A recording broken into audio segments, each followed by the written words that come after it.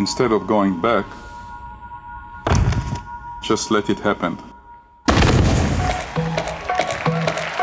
Dance started in my life as long as I remember myself. וגאון, כך הסתכלתי.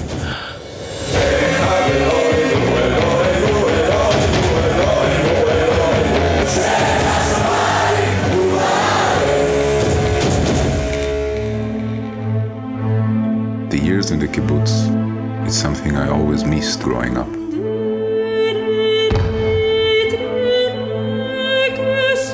We slept together, we washed together, we ate together. I don't think they've met someone that at such a late time in his life can still become a dancer. הופעה ראשונה, מגיעים 100 איש, חלק יוצאים באמצע. עוד יום ועוד יום, ואין קהל.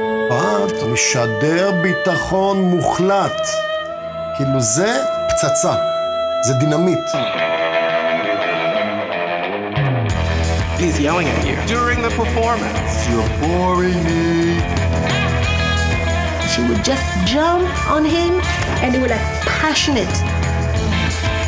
To mourn a big loss and to dance, they don't contradict each other. I dance every day, and I want everybody to do it. Do you want to dance?